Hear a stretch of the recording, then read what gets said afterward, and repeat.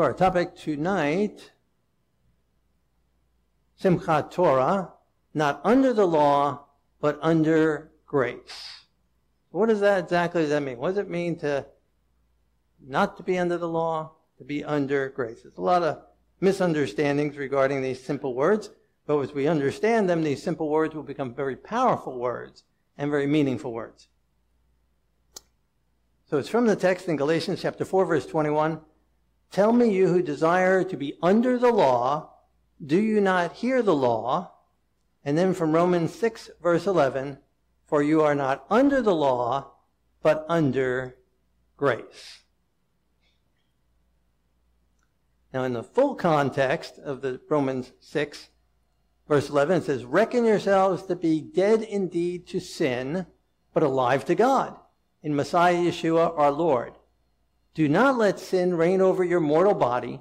Don't give yourself to unrighteousness to sin, but present yourself to God as being alive from the dead, and your members as instruments of righteousness to God. For sin shall not have dominion over you, for you are not under the law, but under grace. Shall we sin because we are not under the law, but under grace? God forbid. Okay, so in the context, I think it helps us quite a bit, and we'll come back to this uh, a little bit later on as we talk about some other things about the law. But, uh, but in the greater context gives a, much more meaning to it than just the phrase that's often just used, not under the law, but under grace. We see already some things here. It has a lot to do with sin, right? Even verse 11, to be dead indeed to sin. That's really the issue. Do not let sin reign in your mortal bodies, right? And so instead of being and, and being dead to sin, not allowing sin to reign, we allow God to make us alive from the dead and thus instruments of his righteousness. And that's some of the key there. And like anything else, reading the Bible, understanding the Bible, we've got to start with in context. What does it say around the text? And that's going to help us quite a bit here. So some other places in the Bible, the same author, same book, Romans chapter 7, verse 12, the law is holy and the commandment is holy and just and good. Now it's very interesting here. The next chapter, chapter 7, talks about the law being holy, just, and good. And yet some people look at that text in verse 6, chapter 6, that we're not under the law, thus the law is bad, get rid of the law, the law is done away with, forget about the law, it's the law that is oppressive, and so we remove the law because it is bad, and then we insert grace. That's how it's generally taught, generally understood. And it's totally wrong, especially as we just go on to the next, well, in context of what we saw before and after, and then what we see here, the very next chapter, where the law is good.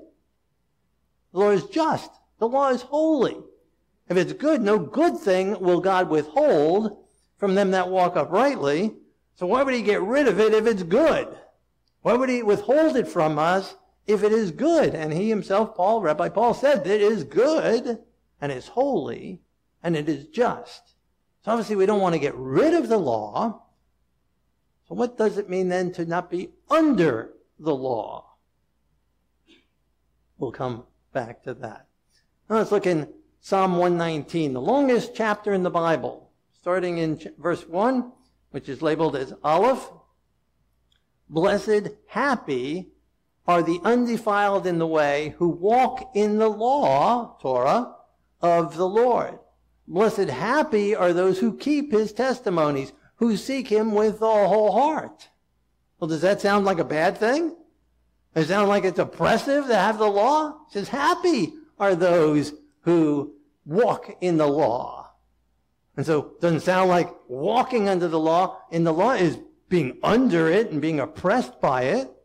It makes you happy and blessed. And in verse 9, how can a young man cleanse his way? By taking heed according to your word. Oh, let me not wander from your commandments. Your word I have hidden in my heart that I might not sin against you. Open my eyes that I might see wonderful things from your law. It's wonderful. Wonderful things in it. It's holy, it's just, it's good. It keeps me from sinning that I might not sin against you. And that's what we saw in those verses. Not let sin reign over you. Give me understanding, and I shall keep your law. Indeed, I shall observe it with my whole heart.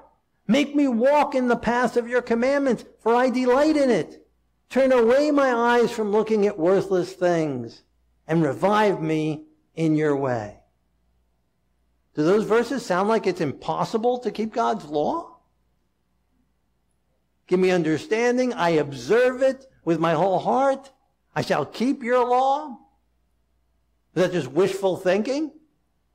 Was David just hoping and just writing this very poetically? And then we have to wait until Rabbi Paul comes along and says, oh, well, we can't keep it, so God did away with it? We were under it, and so he just takes it away and replaces it with grace instead? Is Paul in opposition to David? No, God forbid. no, the law is good, it's holy, it's just, keeps us from sinning gives us understanding, gives us wisdom, gives us enlightenment. Blessed, happy, who keep your law. to delight. Let your mercies come to me also, O Lord, your salvation according to your word. I will delight myself in your commandments, which I love.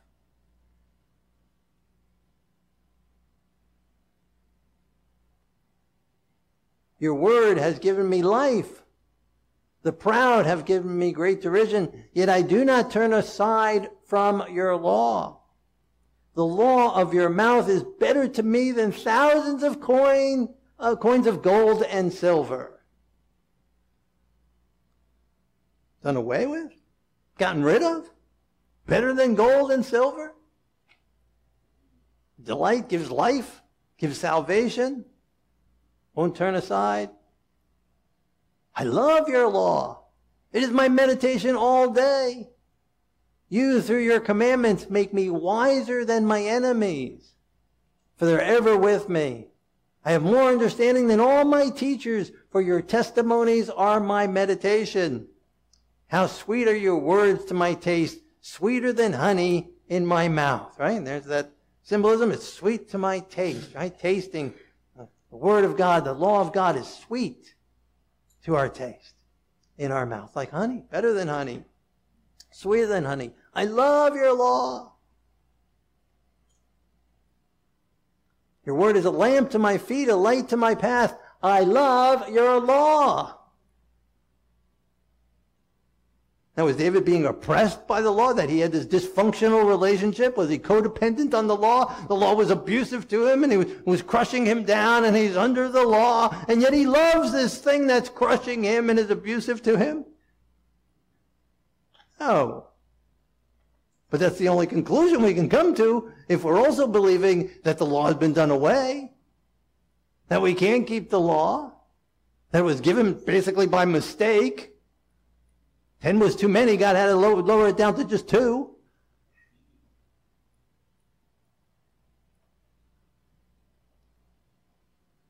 It is time for you to act, O Lord, for they have regarded your law as void. Therefore, I love your commandments more than gold, yes, than fine gold. Rivers of water run down from my eyes because men don't keep your law. David is heartbroken because people are not keeping God's law.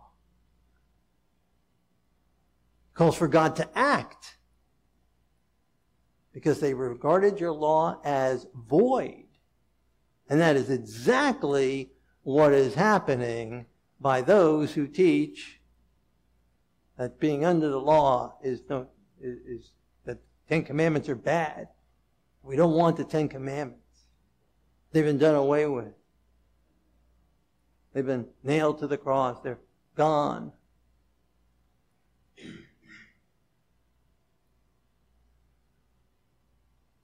Your law is truth. Trouble and anguish have overtaken me, yet your commandments are my delights. Great peace have those who love your law, and nothing causes them to stumble. I long for your salvation, O Lord. Your law is my delight.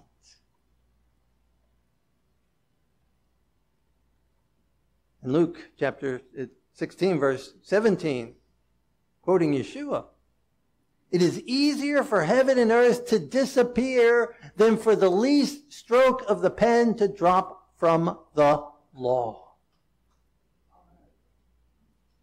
You think Yeshua said that when he was getting ready to get rid of it? When he was getting ready to do away with it?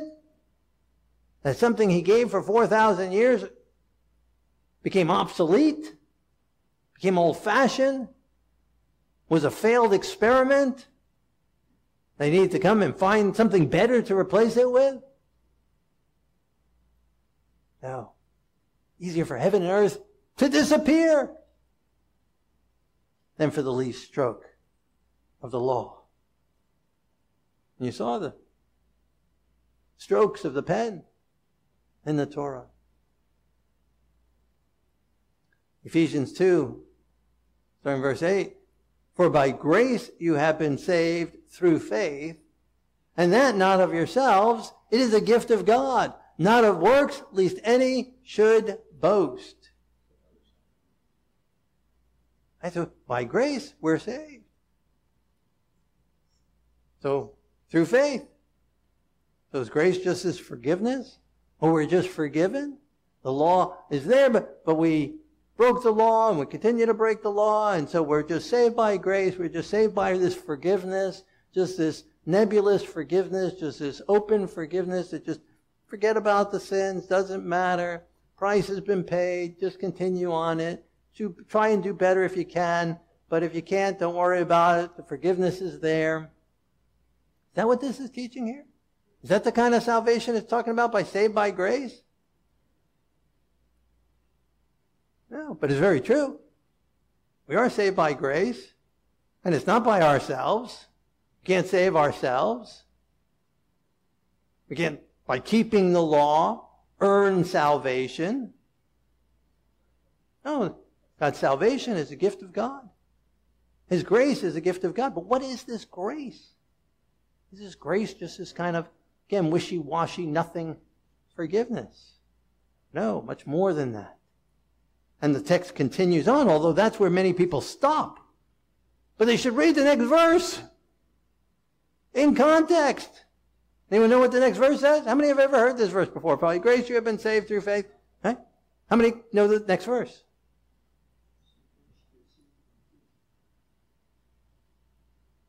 We should know the next verse just as much as we know this verse. For we are his workmanship created in Yeshua the Messiah for good works, which God prepared beforehand that we should walk in them. What good works did God prepare beforehand? The law. He prepared it long beforehand. From the very beginning, his good works were there. From the very beginning, God's law has been there long before he wrote it on stone. It's just when he wrote it down for us. But it's always been there from the very beginning. So he saves us by his grace, which is not from ourselves, nothing that we can do to earn it, nothing that we can do to procure it, no way to obtain it except through faith. And that grace that saves us gives us the power to do the good works that God created us to do. That He prepared beforehand so that we can walk therein and delight in God's Word and love His law and walk in them. Romans 4 verse 15. Where there is no law, there is no transgression. This is in verse 4, again back to the original book of the Romans there. Romans 4, where there's no law, there's no transgression. Right? That makes sense. If there's no law, you can't fault someone for doing something that you didn't tell them is wrong. Right? If there's no rules, in Germany they got a road called the Autobahn that has no speed limit on it. Since there's no speed limit on it, can you get a speeding ticket? No. now you're allowed to go as fast as you want on that road. I've driven on that road. Now, I wasn't driving. I wish I was. you can go as fast as there's portions of it, no speed limit. At least it was. I don't, maybe it's still that way. So you can't get a speeding ticket if there's no law against speeding. Correct? And so where there's no law, there's no transgression, there's no sin. So if God was able to just do away with the law, then there'd be no sin. Right? Doesn't mean that people wouldn't do horrible things. Doesn't mean that people wouldn't kill each other, but just there'd be no accountability for it. You're like living in New York City. Ooh. or California or other places. There's just no law against it. There's a law against it in New York City. They just don't enforce it if you're certain people. But whatever, that's a whole other story. But if there's no law, it doesn't mean that bad things won't happen. It just means they can't hold them accountable for it.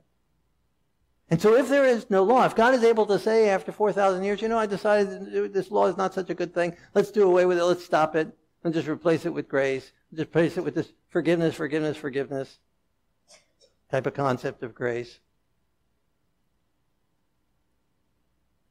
Then if there's no sin, and there's no transgression, then there would have been no need for a Messiah to come and save us. There'd be no need for the Messiah to die for our sins if all God needed to do was say no more law. No more law, no more transgression, no more punishment, then no more need for a payment. No more need for a substitute. No more need for a death. And that would make his death in vain. And that is a horrible thought. But that really is the end result of teaching the law has been done away. The law is not necessary anymore.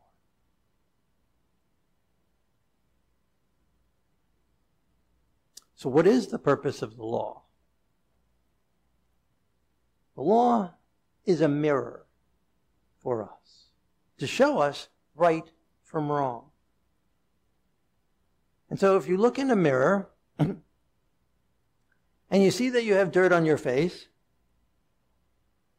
what should you do? Do you take the mirror and rub it on the dirt? Will that get rid of the dirt? Will I get rid of the stain? Will I get rid of the smudge, the mud? No. That's not the purpose of the mirror. The mirror cannot remove dirt. The law cannot remove sin. The law can only point out sin and show us right from wrong. And so you wouldn't take the mirror either and throw it down and break it, would you? Would that solve the problem? You'd still have dirt on your face, wouldn't you? wouldn't be too good for the mirror, right? But it wouldn't do too good for you. Wouldn't cleanse your face. So if the law is just done away with, we don't need the law anymore. We just do away with the law. And it's like breaking the mirror. And we still get dirt on our face. We still continue in sin. We still continue in wrong. And so, obviously, that's not the thing to do, to get rid of the law, to get rid of the mirror. No, when we use the mirror and see that we have dirt on our face, we then go to the sink and to the water and to the soap to cleanse our face. So the mirror is used to then take us to the cleansing properties. And so the law of God then sends us to the Messiah, who because of his death doesn't do away with the law, but cleanses us so the dirt is removed and washed away. If you confess your sins, he is faithful and just to forgive us and to cleanse us of all unrighteousness. So the mud, the dirt, goes down the drain into the sewer, septic line, wherever, gone away. Can you put that dirt back on yourself? Not that dirt. right? Unless you have a septic well in your backyard and you go back in there and you go with all that stuff and, and dig it out, right? And you come out dirtier than you ever were before. Right on the sewer line. No, that's been removed, gone from us. So it doesn't excuse the sin. Doesn't do away with the mirror. Right? The water, the soap doesn't do away with the mirror. Just does away with the curse that the law was upon us. And so the law sends us to the cleansing blood of Messiah to take away our sins. So back to the text, Romans 6, 14. Sin shall not have dominion over you, for you are not under the law, but under grace. Shall we sin because we are not under the law, but under grace? God forbid. So the issue is sin. It's getting rid of sin, not getting rid of law. That's the issue. That's what grace does. Grace doesn't get rid of the law. It doesn't replace the law. It doesn't just forgive the sins, but allow them to remain. No, it gets rid of the sin. So that sin no longer has dominion over us. Grace is, again, just not this wishy-washy forgiveness. Grace is the power of God that gives us dominion over sin. Thus, we are not under the law, but under God's grace. And so, shall we sin because we are not under the law, but under grace? No. God forbid. Now, by the grace of God, we don't have to sin anymore because He has set us free from the power of sin through our death with Him in the Messiah and resurrected alive into newness of life. I want to give an illustration. I learned this from a friend of mine, Tony Sirigliano, who's passed away now. Let's say you're in your car and you drive to the bank and you go on a certain road from your house, go out your house, out your garage, out your, down your driveway, down the street, and you go to the, your bank. Right? So you enter into the parking lot of your bank and you park in a parking spot and you get out of your car and you walk into the bank and you walk up to the teller and you have filled out a withdrawal slip and you hand them a withdrawal slip and they check it with your bank account and you have enough in there. They take out the amount that you've asked for and they give you that amount and you count it and you take it and then you walk out of the bank you go back into your car, walk out of the bank, back into your car, and you drive on the same road, and you drive home. Right? Got the picture? Okay. Tomorrow, you go back into your home.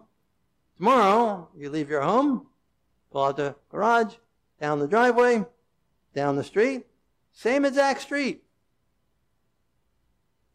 go to the same exact bank.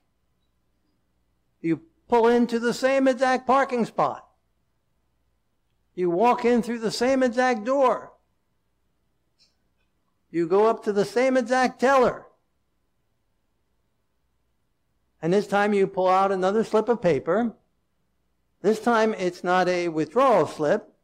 It's a piece of paper that says, give me all your money. I've got a gun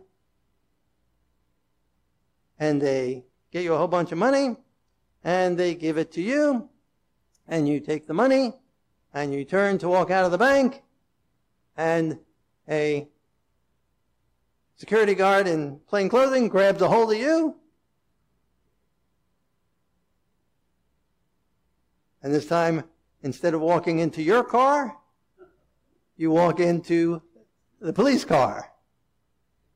Instead of going to your house you go to the jailhouse and you are now under the law. What was the difference between the two days? On the first day, you were obedient to the laws. On day two, you were a lawbreaker, and it's the lawbreakers who become under the law, not the law obeyers. But somehow or another, people have taken it and twisted it upside down and think that those who are obeying the law are under the law. When what Paul was talking about is that those who are breaking the law are under the condemnation of the law. And when we are law breakers, the law is very heavy. When we are law breakers, the law is burdensome. When we are law breakers, the law is there shining in our face, saying you got dirt, mud, poop on your face. It is convicting you and giving you the weight of guilt, and you are under the weight of the law because you are a law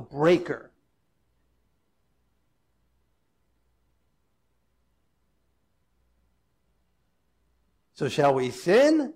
Shall sin have dominion over us? Sin shall not have dominion over you. For we're not under the law, but we're under grace.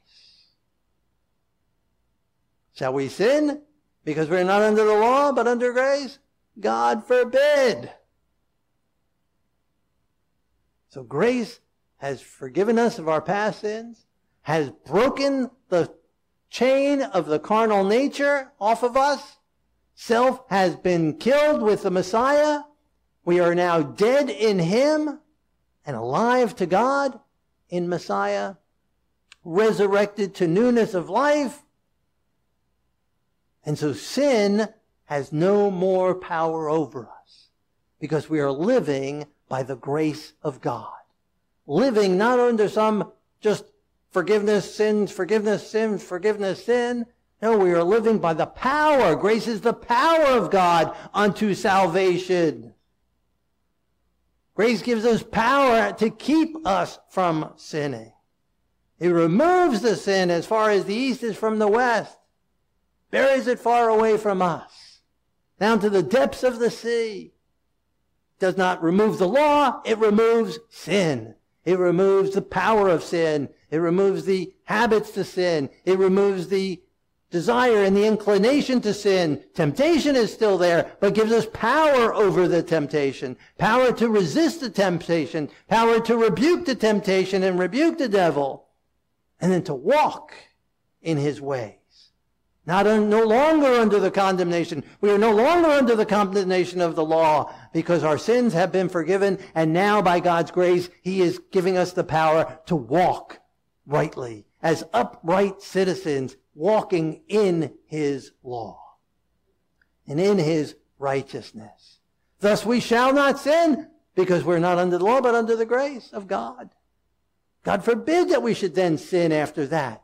After all that God has done for us, after Yeshua has given himself, paid his, our price for us, taken our sins and taken our carnal nature into himself, and has broken that bondage off of us, and has set us free. God forbid that we should go back to that. God forbid that we should go back to sinning. People interpret this, you're going back to keeping the law? Thus you're putting yourself under the law? No, no. You lawbreaker, you're the one under the law. God forbid that I should go back under the disobedience to the law, under the condemnation of the law. No.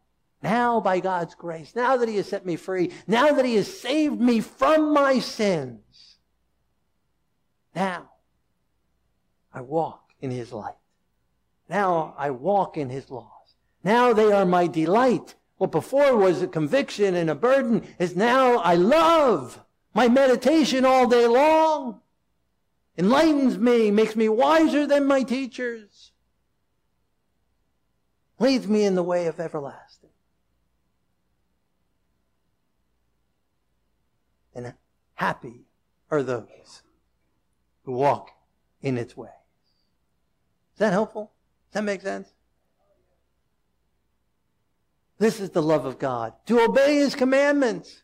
And His commandments are not burdensome. They're impossible to do before we have the power of God living in us, before we have the Holy Spirit living through us, before we have the grace of God working through this flesh. But once we have experienced His salvation and are born anew and all things have become new, they're no longer burdensome. But they, uh, God brings our life in harmony with them, in obedience to them. And then they become easy because his yoke is easy. Not that he threw the cart away, but he carries the yoke. We're walking with him. He's carrying the burden. He's giving us the power. He's walking in us and through us. Here is the patience of the saints. Here are they that keep the commandments of God and the faith of Yeshua the Messiah. That sound like a God who does away with the commandments? No, ridiculous. But that's what's taught very often around the world. Absolute ridiculous twisting of the words of the Word of God. No.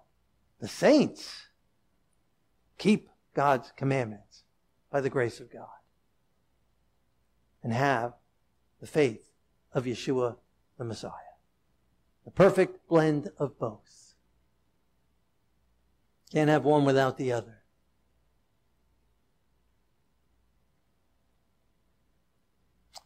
That is what the grace of God wants to do in us and through us.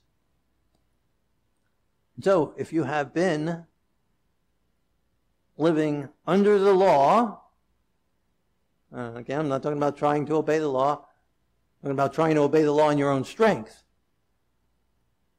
You've been under the law, under the condemnation of the law, under the conviction of the law. The law has been pointing out sin to you. The law is hanging on top of you, arresting you, has you jailed because of the sin that you have committed. And you want to accept the mercy and forgiveness of the Messiah to wash you clean, totally clean, and to wash the sin away. Not only the record of the past sin, but the power of the habit, the power of the sinning and be set free and receive the grace of God so that you rise up above the condemnation and into harmony with it, with God's law. In a moment when we pray, you can confess whatever is still on your record. Whatever round of sin and confessing and sin and confessing and sin and confessing you've been doing. And finally, accept the grace of God to set you free from sin and death and make you alive unto God. In a moment when we pray, you can do that. Two, if this had made sense and it's answered some questions that you've had regarding this under the law grace of God, in a moment when we pray, ask God to solidify that in your mind and heart and make it part of your life. It becomes lived out, not just a theology, but lived out in your heart and mind. Maybe you've heard for a long time the other type of understanding of interpretation. It's going to take more than just hearing it once. You're going to need the miracle of God. You've got to change your thinking in this light. And so if that applies to you, then a moment when we pray, let God do his work in transforming the mind, to properly understanding the relationship of God's law and his salvation. Three, you want to walk in the power of God's law, in the power of his grace. If you haven't loved his law, you don't meditate on his word. If it's not your delight, maybe at one time it was, and now maybe it's just become a rote ceremony you Jews do routinely, and you've lost that first love for God's word. And in a moment when we pray, ask God to give you that love for his word. Love for his law. To delight in it and to walk in it cheerfully and happily. If obedience is burdensome, that means you're doing it in your own strength. Stop trying to do it in your own strength. Accept the grace of God to work through you and in you.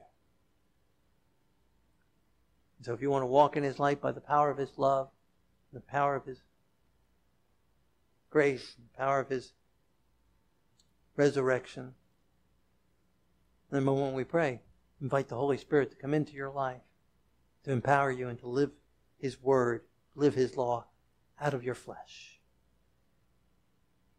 If any of those areas apply to you, or maybe something else God spoke to your heart and mind about, we looked at this text and this topic. And let God pray and work in and through you. Let us pray together.